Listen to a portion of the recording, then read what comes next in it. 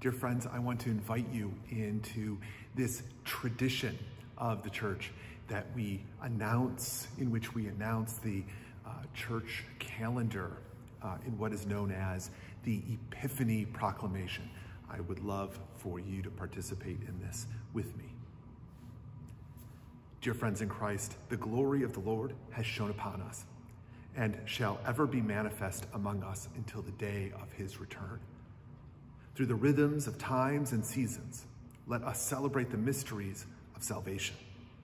Let us recall the year's culmination, the paschal triduum of the Lord, his Last Supper, his crucifixion, his burial, and his rising, celebrated between the evening of the 14th day of April and the evening of the 16th day of April. Each Easter, as on each Sunday, the Holy Church makes present the great and saving deed by which Christ has forever conquered sin and death. From Easter are reckoned all the days we keep holy. Ash Wednesday, the beginning of Lent, will occur on the second day of March. The Ascension of the Lord will be commemorated on the 26th day of May.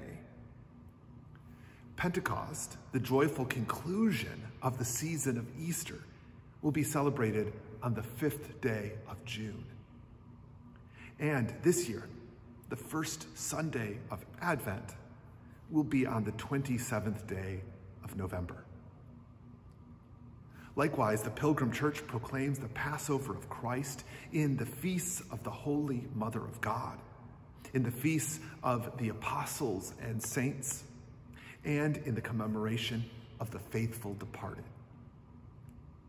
To Jesus Christ, who was, who is, and who is to come, Lord of time and history, be endless praise forever and ever. Amen.